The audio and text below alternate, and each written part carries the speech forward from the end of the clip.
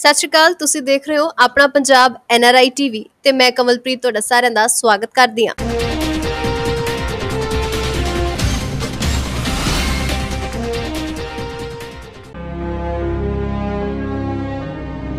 BJP ਦੇ ਕੌਮੀ ਕਾਰਜਕਾਰੀ ਤੇ ਮੈਂਬਰ ਕਮਲ ਸ਼ਰਮਾ ਦਾ 27 ਅਕਤੂਬਰ ਨੂੰ ਅਚਾਨਕ ਦਿਲ ਦਾ ਦੌਰਾ ਪੈਣ ਕਰਕੇ ਦੇਹਾਂਤ ਹੋ ਗਿਆ। ਉਹ ਫਿਰੋਜ਼ਪੁਰ ਆਏ ਹੋਏ ਸੀ ਅਤੇ ਉਸ ਦਿਨ ਸੈਰ ਤੇ ਨਿਕਲੇ ਸੀ, ਪਰ ਇਸ ਦੌਰਾਨ ਉਹਨਾਂ ਨੂੰ ਦਿਲ ਦਾ ਦੌਰਾ ਪੈ ਗਿਆ। ਆਪਣੀ ਮੌਤ ਤੋਂ 2 ਘੰਟੇ ਪਹਿਲਾਂ ਹੀ ਕਮਲ ਸ਼ਰਮਾ ਨੇ ਫੇਸਬੁੱਕ ਤੇ ਦੀਵਾਲੀ ਦੀਆਂ ਸਭ ਨੂੰ ਮੁਬਾਰਕਾਂ ਦਿੱਤੀਆਂ ਸਨ। ਅਚਾਨਕ ਸਿਹਤ ਵਿਗੜਨ ਤੋਂ ਬਾਅਦ ਫਿਰੋਜ਼ਪੁਰ ਦੇ ਇੱਕ ਨਿੱਜੀ ਹਸਪਤਾਲ ਉਹਨਾਂ ਨੂੰ ਲਿਜਾਇਆ ਗਿਆ ਸੀ, ਪਰ ਉਹਨਾਂ ਨੂੰ ਬਚਾਇਆ ਨਹੀਂ ਜਾ ਸਕਿਆ। ਸਵੇਰੇ 7 ਵਜੇ ਉਹਨਾਂ ਬਾਗੀ ਹਸਪਤਾਲ ਵਿੱਚ ਦਮ ਤੋੜਿਆ।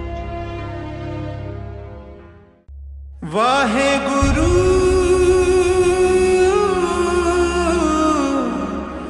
ਵਾਹਿਗੁਰੂ।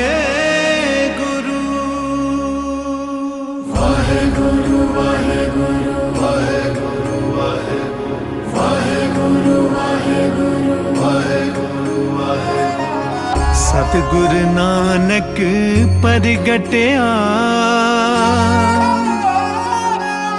ਮਿੱਟੀ ਧੁੰਦ ਜਗ ਚਾਨਣ ਹੋਆ। ਸਤਿਗੁਰੂ ਨਾਨਕ ਪ੍ਰਗਟਿਆ, ਮਿੱਟੀ ਤੁੰਦ ਜਗ ਚਾਨਣ ਹੋਆ।